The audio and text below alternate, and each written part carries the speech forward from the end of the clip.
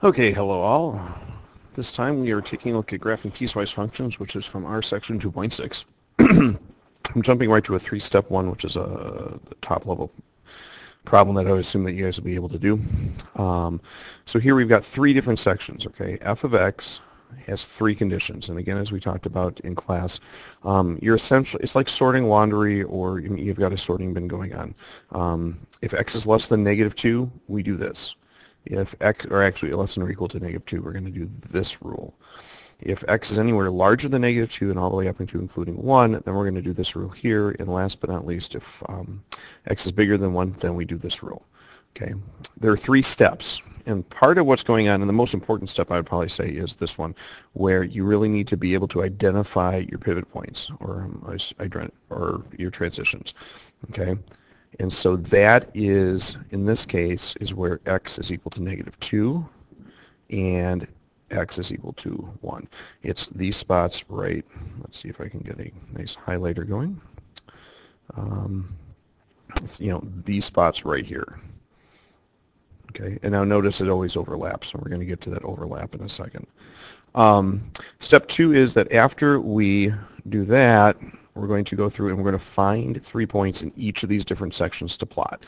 Um, and the most important part is this including pivots um, because you need to be able to see where you're shifting from one graph to another. And even though this is like, for example, um, we only use this function where x is greater than 1, remember as soon as we come off of 1, so 1.000005 or whatever, we're on this rule. So that's going to, you know, it's the old open circle, closed circle option.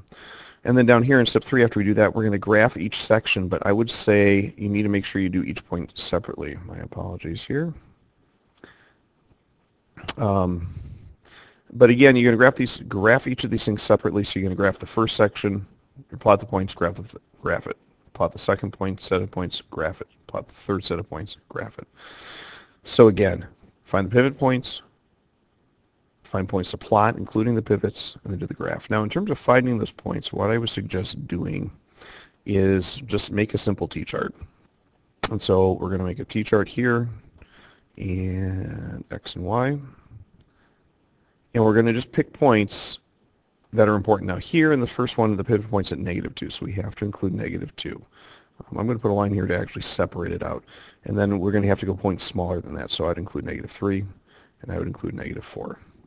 Um, I would also say here at negative 2, since I've got this less than or equal to sign, I would say make a dot there so that you know that, okay, this is the filled in dot side, which means then, of course, on the other side, we're going to go open dot. Now for these points, again, you have to include the pivot. So in this case, I'm going to have to include the negative 2. I'm also going to have to go back here and include a 1 because that's up here. Pivot point negative 2 goes all the way up to and includes 1.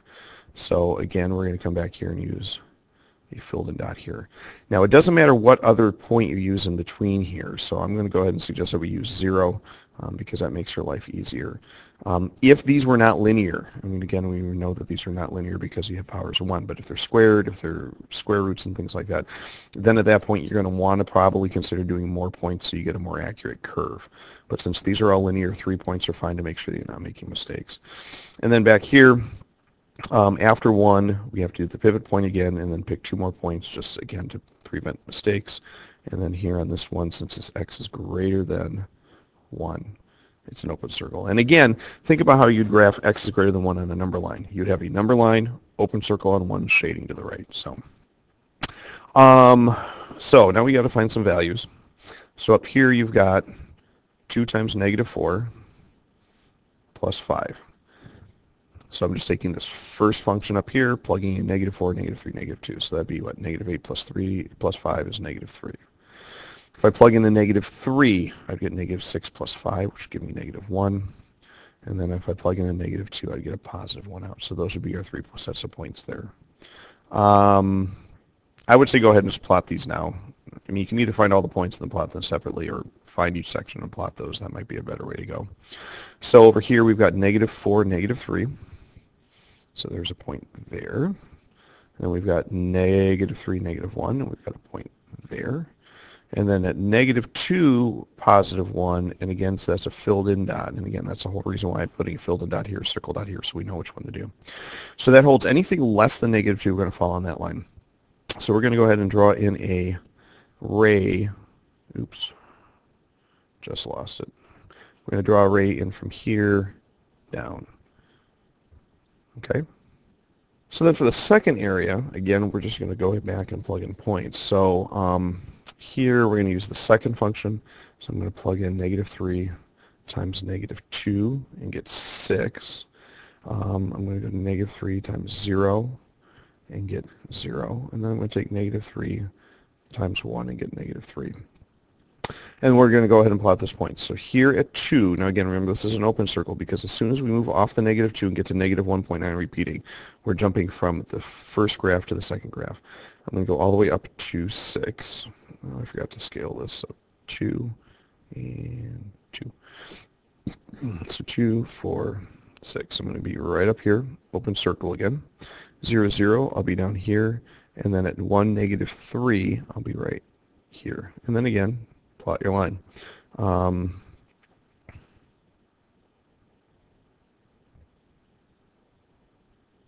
and there's the second part. And for the third part, you're going to go through and you're going to say, all right, let's plug in the points. So I've got 1 minus 4, which is negative 3. Um, 2 minus 4, which is negative 2. And 3 minus 4, which is negative 1. Now notice in this case, the trans the pivot point here, instead of having this gap here, is the same um, in both the first graph or in the second graph and the third graph. So here 1 matches up with negative 3, 1 matches up with negative 3, and that's fine. Um, you don't have to necessarily draw an open circle around here since the overlap is there. Um, you just go on and say, okay, 1 and 3, already have a point there, we're good to go. 2, negative 2, plot a point. 3, negative 1, plot a. And then from there, graph your line. Okay? Now again, the simpler ones where you only have two sections, you only have two parts of the graph. If I have three sections, I'm going to have three sections of the graph, four sections, four sections of the graph. Um, your pivot number of pivot points should always be one less than the total number of sections that you have, but that should get you through um, graphing piecewise functions. And again, you can go through and have curves and squares and stuff, in which case then the graph would just be curved. So, but that should get you all set for section 2.6 graphing piecewise functions. And thank you so much. See you in class.